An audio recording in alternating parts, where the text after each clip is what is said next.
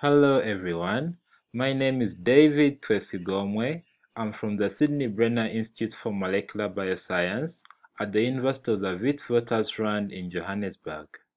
I'm happy to present this talk from my master's work titled Characterization of Cytochrome 2D6 Pharmacogenomic Variation in African Populations, an Integrative Bioinformatics Approach.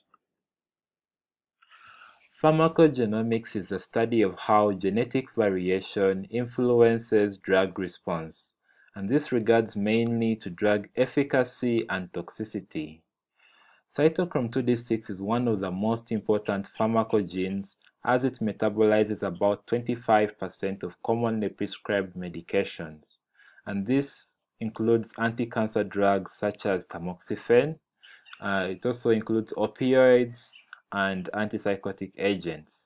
However, genotyping CYP2D6 is quite challenging due to the structure variants in the gene locus. I've included this image from Twist et al., which shows examples of CYP2D6 haplotypes, or star alleles as we popularly call them. So here from part A we can see the location of CYP2D6 on the minus strand of chromosome 22 alongside two pseudogenes, CYP2D7 and CYP2D8. There is a 94% homology or similarity between CYP2D6 and CYP2D7, and this causes a number of structural rearrangements, such as these hybrid genes in, in part D of the figure, and these tandem rearrangements in part E of the figure. For example, here we can see an exon conversion of CYP2D6 to 2D7. Other examples of, of uh, structure variants include this gene deletion, which we call STAR5, and these gene duplications. Um, so these structure variants make sequencing of the CYP2D6 region really difficult and also aligning short read data to the region really difficult. Another thing to note from this figure is, are the functional annotations for the different alleles. So we see normal function alleles, decreased function alleles. This could be due to missense variants in the haplotype. Um, then we have non-functional alleles, which could be due to frame shifts and stop loss or stop gain variants in the haplotype. And we see increased function alleles from the duplication of functional gene copies. So our objectives were to compare the performance of CYP2D6 star allele calling algorithms given the challenges we've seen in genotyping the region, uh, to identify CYP2D6 star alleles in African populations with whole genome sequence data. Uh, here, whole genome sequence data is really important because it enables identification of the structure variants which, which we've seen in the figure before and then to predict the CYP2D6 metabolizer phenotype distribution in African populations, and then also determine the frequency of CYP2D6 regulatory variants in African populations. So our workflow was in two phases. Uh, we, we, the first part was the benchmarking study, where we used 75 publicly available whole genome sequence datasets from the CDC's Genetic Testing Reference Materials Program. And here we benchmarked three algorithms. The first one is ALDI, the second one is Astrolabe, and the third one is Stargazer. And we also tested whether using a consensus genotyping approach involving all the three tools is better than using either tool alone. And afterwards, we used that consensus genotyping approach to genotype CYP2D6 um, from 458 African whole genome sequence samples.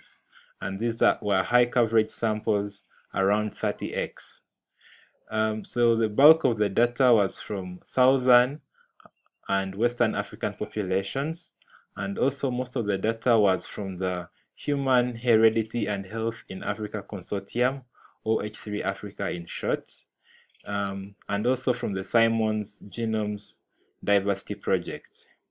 So after calling star alleles in CYP2D6, we used the activity score system to predict the phenotypes. And here on the right, I've provided a breakdown of how we assign scores. So we assign scores based on the allelic activity. So 0 is for a non-functional allele, 0.5 is for a decreased function allele. However, in special cases, we can give 0.25. Uh, then we assign 1 for a normal functional allele and greater than 1 depending on the duplication of the gene copies. So from the results, we can see that ALDI and Stargazer were much better than Astrolabe at, call, um, at calling CYP2D6 star alleles and from the breakdown of the discordant cases, we see that it's because ALDI and Stargazer were much better at calling the structure variants in CYP2D6, and that's why they performed better overall. However, we also see that using the ensemble genotyping approach involving all the three tools, it is uh, we had much higher accuracy than if you use either tool alone. And it is also shown here that haplotypes called by all the three tools are true positive. So here we have a breakdown of the allele distribution in our dataset, which is represented by the red, uh, which the HAD here represents the high coverage African ADME dataset from our study, and we compare it to the sub-Saharan African um, studies, uh, which, which the previous sub-Saharan African studies, and other world populations. And here, the most notable differences are with the STAR5, which is the gene deletion. And we can see that the frequency of STAR5 in African populations is much higher than that in other populations. And we also see STAR17 and STAR29, uh, which are African specific, but also the frequencies is comparable in the admixed Americans. Uh, the reason why these alleles are interesting is because they are decreased function alleles because of these missense variants which we've shown in which we show in this table here and that means that they are responsible for uh, a lot of the enzymatic of the variability in the enzymatic activity um, that we see across Africa. And then I've also highlighted these structure variants here which we were not going to be able to call if we had not used whole genome sequence data and the three algorithms that we used. Then here, this is the distribution of the metabolizer uh, status, and we see that when you look at the ultra-rapid metabolizers, we see that there is a higher frequency of ultra-rapid metabolizers in Western Africa compared to Southern African populations, whereas it is the reverse when it comes to poor metabolizers. And this is because of the different distribution of the alleles which we've seen in the figure bit in, on the previous slide. And then also we looked at the frequencies of the long-range regulatory variants. So here we see two SNPs in linkage disequilibrium, and these ones are located about 100,000 base pairs away from the CYP2D6 gene, but from GWAS studies, there is evidence to show that they regulate the CYP2D6 gene expression.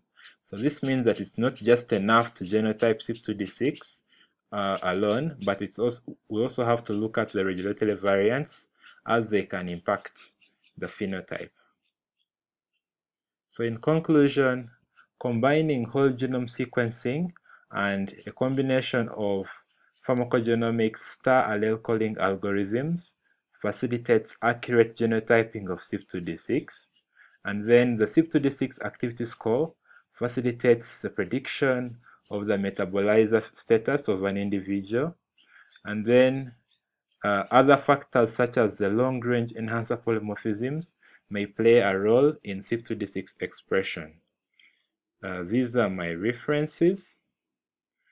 And with that, I would love to thank the following my supervisors, Prof. Scott Hazelhurst and Prof. Zane Lombard, um, the ADME project team, the core team at WITS, and external collaborators. I'd love to thank um, GSK for the funding and NRF, and also I'd love to thank the International, International Society for Computational Biology for funding, for the fellowship. Thank you.